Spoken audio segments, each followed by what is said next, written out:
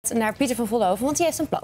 Ja, hij wil namelijk dat de tien overheidsinspecties worden samengevoegd tot een nationale veiligheidsinspectie. Dat staat in zijn nieuwe boek Oproep van een waakhond, dat vandaag verschijnt.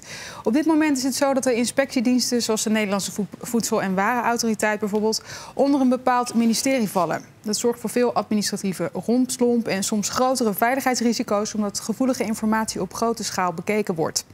De nieuwe Nationale Veiligheidsinspectie moet op een onafhankelijke manier gaan opereren en dus buiten de ministeries om. Meneer Sneller, ik wil natuurlijk van u weten, bent u het eh, met, uh, met Van Vollenhoven eens? Zou er zo'n Nationale Veiligheidsinspectie moeten komen?